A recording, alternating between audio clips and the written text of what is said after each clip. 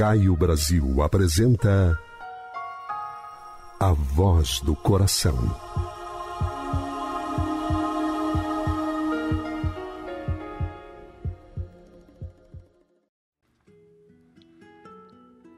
Apliquemo-nos.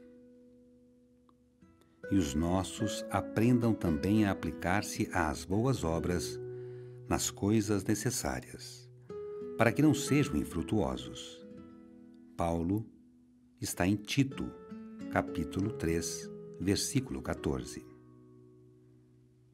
É preciso crer na bondade. Todavia, é indispensável movimentarmos-nos com ela no serviço de elevação. É necessário guardar a fé.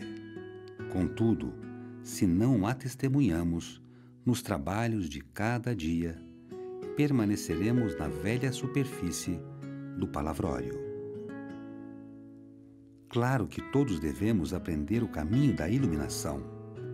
Entretanto, se nos não dispomos a palmilhá-lo, não passaremos da atitude verbalista.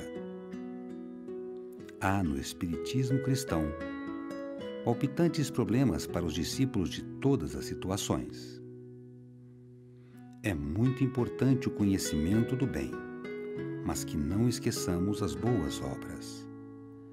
É justo se nos dilate a esperança diante do futuro, à frente da sublimidade dos outros mundos em glorioso porvir. Mas não olvidemos os pequeninos deveres da hora que passa. De outro modo, seríamos legiões de servidores incapazes de trabalhar belas figuras na vitrina das ideias, sem qualquer valor na vida prática. A natureza costuma apresentar lindas árvores que se cobrem de flores e jamais frutificam. O céu, por vezes, mostra nuvens que prometem chuva e se desfazem sem qualquer benefício à terra sedenta. As escolas religiosas, igualmente, revelam grande número de demonstrações dessa ordem.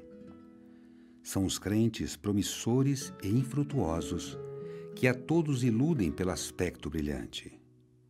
Dia virá, porém, no qual se certificarão de que é sempre melhor fazer para ensinar depois, que ensinar sempre sem fazer nunca texto extraído do livro Vinha de Luz, psicografia de Francisco Cândido Xavier, pelo Espírito Emmanuel.